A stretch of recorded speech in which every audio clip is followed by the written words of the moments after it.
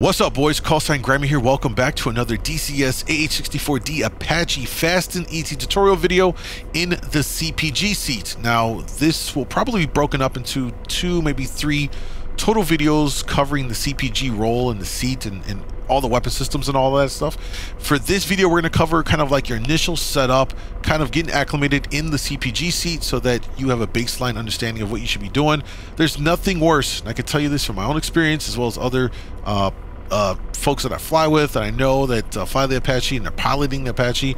And when they go to have a CPG with them, it's nothing worse than, you know, flying, getting on station, and whoever is in the CPG seat is kind of lost in the sauce, fumbling around, taking way too long to get on target and, uh, uh, you know, deploy weapon systems and all that stuff you don't want to be that guy because I promise you people will, will not want to fly with you okay? So hopefully this video will get you set up as fast and easy as possible.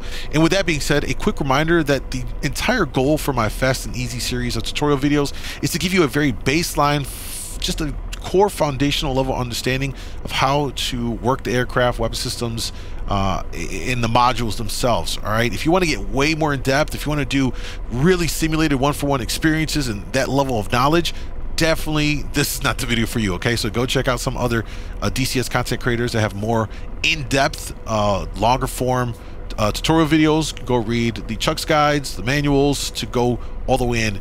Uh, but if you're like me and you just want to get in there, have some fun, and be proficient enough to uh, you know, efficiently and properly work the aircraft, then what I'm going to share with you in these series of videos will get you up and running uh, as fast as possible. With that being said, let's dive into the CPG seat. I'm flying solo, so George flew me over on station, right on a Nevada map. This is actually a training mission I created for myself. There's various locations to do various things, so that helps with making these tutorial videos. Um, what we're going to do here is once we're in the CPG seat, let's go ahead and get ourselves kind of just set up and kind of walk through the process one of the first things I'm going to do is I'm going to turn off the IHADSS real quick and I'm going to just focus on getting my uh, displays all set up here. Um, I like to have the weapon systems on the left side and I'll keep the TSD over on the right. I'll also take this time to flip it into attack mode so as I deploy weapons or if I line up on targets I can go ahead and mark them and they'll pop up here so they'll be stored into the system and it makes it easier to kind of just have that all together um, and so I'll keep that on the right side one other thing I make sure to do is I'll go to show. We'll uh, box show and then we'll have some more options over here. Uh, I always like to make sure I have all of these pretty much checked on. So pilot cursor is on cursor info I like to have that information on there. Uh, current route is on. And then we'll also turn it over to nav phase and I'll make sure I have all of these boxed up. Just so that I have all that information. Um, I, I, I don't think there's anything wrong with having all that information on the screen this can be a preference thing but I like having all that information on there so I can see what's going on at all times um, once that is set up we're, we're good to go um, next thing we're going to do of course you're going to make sure and you should do this as you're taking off but make sure you're in alignment here with your IHADSS and uh, bore sight that that should be pretty obvious. Now, the next thing we're going to do here is turn on our IHADSS back on. We're going to use the I button to turn it on and off. You can keep on that if you like. Um, now what we're going to do here to take control of the TEDAC right here, because right now we can't move it around. You see the, the knob moving here, but it's not uh, it's not doing anything. You're going to need to go make sure that you flick over here where it says FCR, Link, HMD, and TADS. You're going to go right to the TADS. Now you notice that we have control, if we move our thumbstick around, we have control of the TEDAC. Um, however, many of you will notice that you get the FLIR screen on your display and it makes it very annoying. And for a long time, what I did and many folks would do was just hit the I button to then get rid of your IHADSS and then you would just work from the screen like this. However, you don't need to do that. Uh, this is a common question, how to get rid of that while still keeping your IHADSS on. Let me show you how you do it. You're going to go ahead and come over to NVS mode you're going to turn it on to norm. Then you'll come back to your TEDAC, and on the right side, you have BRT. That's not for bright, that's for brightness, okay? You're going to click that all the way down. And just like that, you have now gotten rid of that FLIR display on your IHADSS. Come back down to NVS mode and turn that off. Once we've turned that off, flick over to TADS again, and now you see we have full control of our uh, TEDAC with our IHADSS on. Now, if at this point you want to turn your IHADS off, because you just don't want it on, you can do that. But you don't have to. You can leave it on here. And as you're working your TEDAC system here, you could glance up and you'll have an important IHADSS uh, information displayed on uh, on it as you're looking up over, you know, the horizon or whatever you're looking at here. Um, so that is kind of important there. I wanted to share that with you. I'm going to turn the IHADSS off real quick. Let's continue on here. Um, super important here that you need to make sure next that you go to utility and we need to turn on our laser system. Make sure our laser is on. Um, here you can you, you can already see that it is boxed. Um, if it is not, you'll just see it with unboxed with a donut next to the laser. Um, once you hit the box, it'll be fully uh, a, full dot there, and you know that that is now activated. So your laser system is on. Next, let's go to code. You need to make sure that you are on the right code here. If you are working with other Apaches in the area, or uh, you know you've got Reapers, you have other uh, aircraft that are lasing on the ground. You just want to make sure that you have your own laser code and everything is set up. So let's walk through how to set up your uh, laser codes here. It's very simple and also very important to do. So we're going to hit the box for code and we're going to see all of the different options here, uh, A through L, or uh, yeah, A through L here, to uh, select our laser code ranges and so on and so forth here. Um, once we box that, you're going to see here set says LRFD. So what this means is that whatever button that we pick is going to be the laser code for our laser uh, rangefinder aboard the aircraft, right? It's going to be our own laser code for our uh, weapon systems. So in this case, you can leave it at A for 1688. That works. However, if you wanted to change it to something else because there might be other aircraft on that freak uh, a code, rather, uh, operating in the area that you're in, you can come over the freak, box that, come on over to whatever letter it is you want to assign it to. Let's say alpha for now. We'll click alpha. You see that 1688 is boxed. We'll look here at the number pad and we're going to input something different. So we'll just say, let's go 1586, which is an acceptable, acceptable code. Enter. We've now changed alpha to 1586 so that we are off of the main code that other aircraft are on for our weapon systems, for anything that we are going to fire from our aircraft. So we'll unbox that. We're going to make sure that set shows LRFD on the alpha. We're good to go. Now, if you wanted to do buddy lasing and you wanted to work with some of those other aircraft because their laser systems, you know, let's say there's an F-18 above, high up there, lasing some targets on the ground for you, or Harrier, whoever, whatever aircraft is up in the air, uh, could be another Apache, you know, over the horizon or on, on top of a mountain. It's lasing down for you. If you want to get on their laser code, you need to make sure you hit set to flick over to LST, laser spot track. Now with this one, we need we need to pick a different uh, uh, code and the code that they are on so that our systems is tracking their laser. So for this, you can see here, it defaulted to alpha 1586. We don't want that because that is the code that we have designated for our aircraft when we fire our, our uh, Hellfires. So we're going to just pick Bravo here. And again, you can pick any one of these. Any, any one of these you can change, right? But we'll go to Bravo. You'll see that it's 2111. Uh, uh, let's just say that the other aircraft are on 1688, which is a very popular number that most of these servers use. So we're going to box 2111 will come the frequency and we'll box it again there. Technically, just box it right here. Uh, once it's boxed, you'll see that uh, the B freak is popped up here on the input. So we're going to go 1688. We'll enter that. And you'll see now that it has changed the code on Bravo. Um, you'll see here that it is boxed because we boxed it earlier. So now the laser spot tracker is, is on Bravo channel for 1688.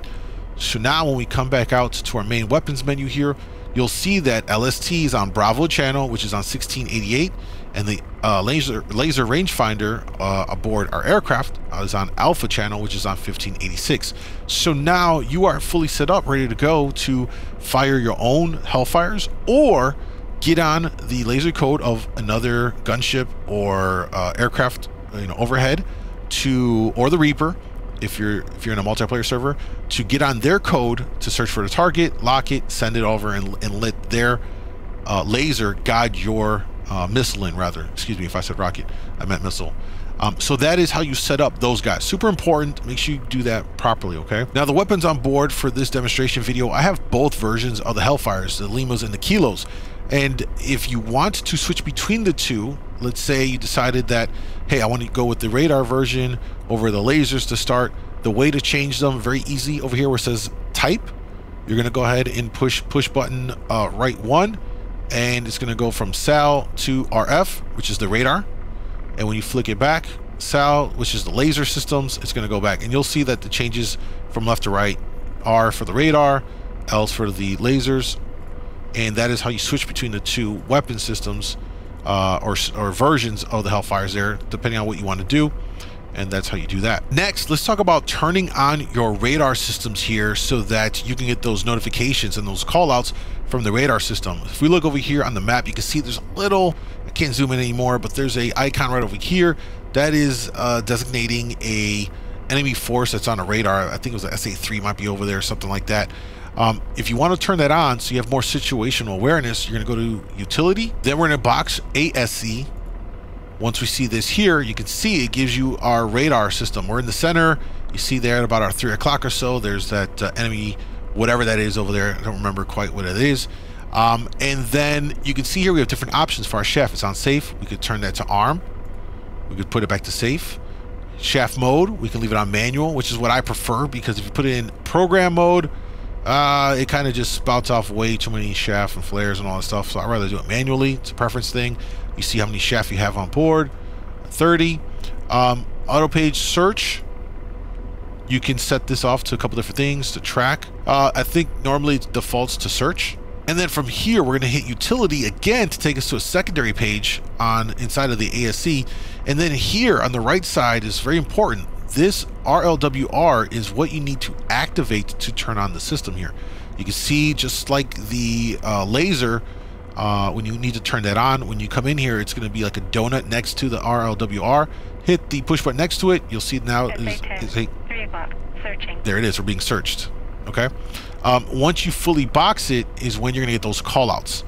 So do not forget to come back here and turn on or box or fully push the circle in there or whatever uh, on the RLWR. Once you do that, you come back out, come back out of ASE, come back out of utility, and then you're right back here um, ready to go on your weapon systems. Next, let's go ahead and talk about some of the important keybinds that you need to have for the CPG seat. All right, first things first, in order to uh, zoom in and out for your TEDAC here, you're gonna need to bind some important buttons. You can see here on the left side of the TEDAC grip, you've got TADS, zoom, medium, wide, narrow. Those are your four fields of zoom for the system here. And we're gonna need to bind those. So let's take a look. And those controls are going to be left hand grip TADS FOV switch Z for zoom, medium, narrow, wide. It's four buttons right there. Next, what we need to set up is the polarity here between FLIR TV and between white hot and black hot. So you, as you can see here, we are in white hot. Press the button again. We'll go into black hot and then we'll hit another one and we'll take us into TV mode. So let's take a look at those buttons for that. And that is going to be uh, LH, LHG TAD sensor select switch FLIR. We're going to have a LHG TAD sensor select switch TV.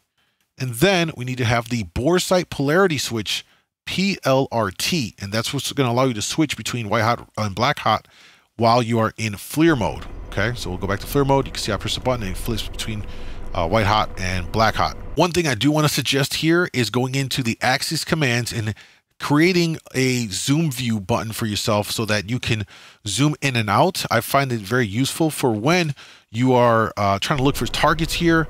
Um, it helps me to like not have to lean my head into the monitor and I can zoom in and it just makes my searching around a little bit easier and uh, less of a strain in the eye. So it definitely helps. I suggest to bind something. I have a button here on my throttle that's like a slider. And so I just put on a slider, back and forth, whatever I want.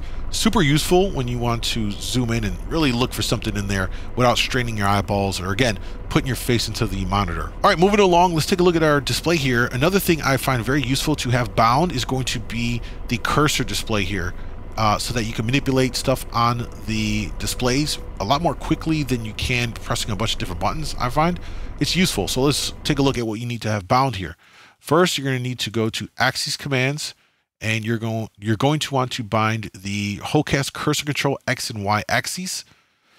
Also, you're going to want to have bound the cursor display select button depress.